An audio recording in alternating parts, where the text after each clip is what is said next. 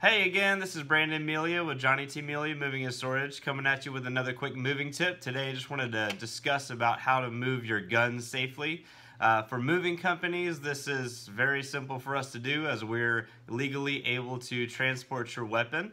Uh, as long as the weapon is unloaded with any ammunition and in the locked open position. We cannot haul ammunition. We are not able to transport highly combustible items. Uh, that would be something that would be considered hazardous material, uh, not safe for truck transport as it gets super hot in these trucks sometimes, uh, and it could possibly make those bullets go off.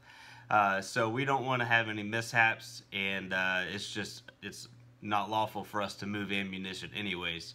So we can transport your guns with no issue at all. Just be sure that your uh, weapon is unloaded, uh, that it is open, and that if we're moving it, we would like to see it or check with whatever moving company that you're moving with to see what their policy is on that. Uh, they might want to take a look at the gun to make sure that it's unloaded uh, in your presence. Uh, just make sure that when you're moving and you have these items that you clear all of that with the moving company beforehand.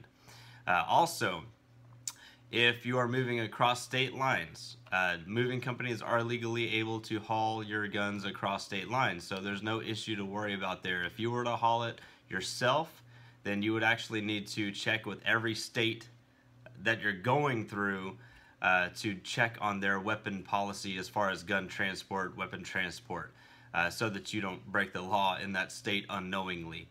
So, we are able to move your guns for you. Uh, also, what we would suggest is that you mark down your serial numbers and things like that. Take pictures of it. If you have a carrying case for it, like a locking carrying case or something like that, it'd be best for us to transport it in that as long as it's, once again, unloaded and open, locked in the open position.